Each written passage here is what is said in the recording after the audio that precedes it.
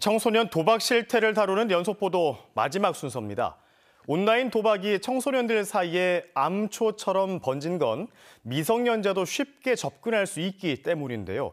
온라인 도박에 대한 규제가 없는 데다 학교 현장에서의 소극적인 대응 탓에 문제가 방치되고 있습니다. 신주연 기자의 보도입니다.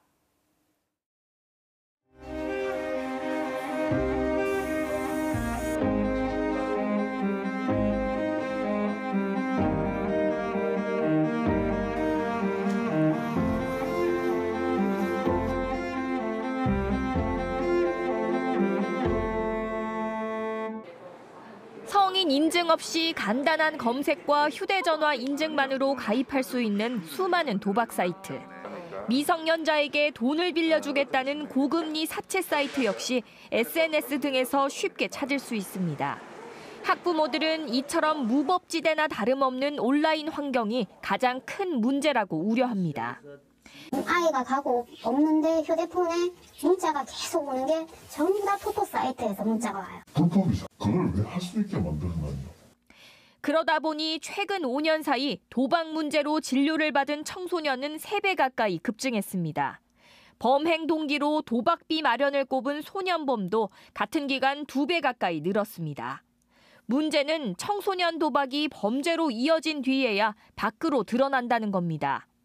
다른 문제 상황을 저희가 확인하면서 어 얘가 도박 문제가 있었구나 어, 도박 문제가 드러나는 부분이 좀 많습니다. 심각성 탓에 대구 경북에서도 이미 여러 해 전에 학생 도박 예방 교육 조례가 제정됐지만 1년간 단 한 차례 형식적 교육에 그치고 있습니다. 대구시 교육청도 도박 문제가 발생하면 교육청에 보고하고 위기 개입을 하도록 매뉴얼도 마련했지만 정작 일선 학교와 학교 전담 경찰관의 미온적 대처로 개입은 제대로 이루어지지 않고 있습니다. 일어나고도 얘기해도 어, 어, 학교 측에서는 굳이 교육청에 자기들이 알리지는 않겠다라고 얘기를 하는 거는 학교 그 담당 경찰분이랑 수십 번 통화를 했어요. 항상 이야기를 하시는 게 증거. 이 때문에 보다 실질적인 예방 교육과 함께 학교 현장과 전담 경찰관의 적극적인 대응이 필요하다는 지적입니다.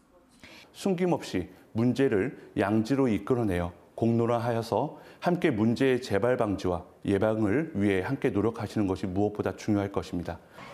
전문가들은 또 무엇보다 온라인 도박에 대한 미성년자의 접근을 제한할 수 있도록 규제를 강화해야 한다고 말합니다.